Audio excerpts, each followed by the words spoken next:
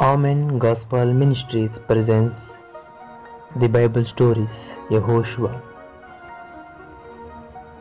ఇస్రాయేలీయుల ఎదుట నుండి యహోవా యోర్ధాను నీళ్ళను ఎండచేసిన సంగతి అమోరియుల రాజులకి కానానీయుల రాజులకి తెలిసినప్పుడు వారు భయపడేది ఒకరోజు యహోష్వా ఏరుకో ప్రాంతం ఉన్నప్పుడు అతడు కన్నులెత్తి చూడగా దూసిన కత్తి చేత పట్టుకొని ఉన్న ఒకడు అతని ఎదుట నిలిచి ఉండెను యహోశువ అతని యొద్దకు వెళ్ళి నీవు మా పక్షముగా ఉన్నవాడవా అని అడుగగా అతడు కాదు యహోవా సేనాధిపతిగా నేను వచ్చి ఉన్నాను యహోశువ నేల మట్టుకు సాగిలపడి నమస్కారం చేసి నా ఏలినవాడు తన దాసునకి సెలవిచ్చినదేమని అడిగాను.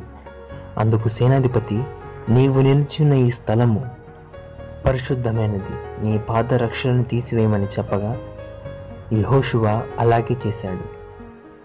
ఆ కాలమున ఇస్రాయేలీయుల భయము చేత ఎవరునూ వెలుపలికి పోకుండా ఎరుకో పట్టణ ద్వారము మూసివేశాను అప్పుడు యహోవా యహోషువాతో మీరందరూ యుద్ధ సన్నద్ధులై పట్టణమును ఆవరించి ఒకమారు దాని చుట్టూ తిరగవలను.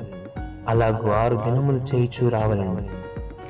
ఏడుగురు యాజకులు పొట్టెలు కొమ్ము బోర్లను పట్టుకొని నడువలను ఏడవ దినమున ఆ బోరులు నూదవలను వారు బూరధ్వని చేయగా జనులందరూ కేకలు వేయరు అప్పుడు ఆ పట్టణ ప్రకారం కులును గనుక జనులు చక్కగా ఎక్కుదురు అని వారు అలాగే ఆరు దినములు పట్టణం చుట్టూ తిరిగిరి. యహోషువ ఐదో అధ్యాయం నుంచి ఆరో అధ్యాయం వరకు.